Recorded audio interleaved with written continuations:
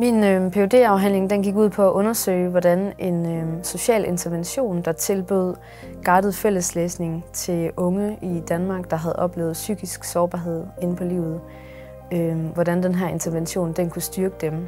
Jeg kom ind i, øh, i det forskningsfelt øh, på baggrund af en interesse, jeg havde øh, gennem min kandidat for, hvordan man som antropolog kunne undersøge litteraturbrug øh, i Danmark. Og så arbejdede jeg øh, i en periode for den forening, som tilbød den her intervention, inden jeg så ligesom startede på, øh, på PhD'en. Det jeg fandt ud af helt kort, det var, at, øh, at øh, litteraturen den kunne være med til at tilbyde et, et rum, hvor man ikke behøvede at arbejde med sig selv og de psykiske øh, lidelser, man nu kunne stå med, men at man faktisk fik lov til at træde ind i et, i et, i et rum, hvor det i stedet for handlede om, øh, om litteraturen og et fælles fokus på det. Det kaldte folk selv øh, for et, øh, et litterært frirum.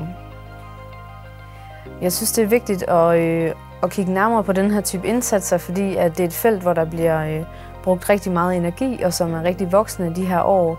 Hele det her kultur som sundhedsfremme, og man, øh, man bruger mange penge øh, på de her, den her type projekter, så jeg synes, det er vigtigt at finde ud af, om de virker, sådan som man, øh, som, som man forventer, og også i så fald, øh, hvad er det, der gør, at de faktisk virker øh, for folk.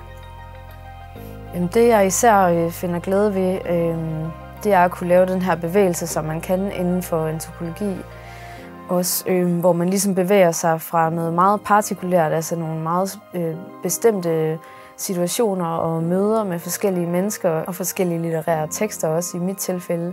Og så til de her meget store filosofiske spørgsmål, man samtidig også kan stille. Altså for eksempel, hvad er kunst, eller hvad er subjektivitet?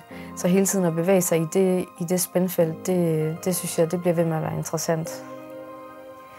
Jeg håber, at, øh, at jeg gennem min forskning har været med til at gøre øh, den samlede indsats, som PhD'en var en, var en del af, og gøre det bedre og ligesom styrke den.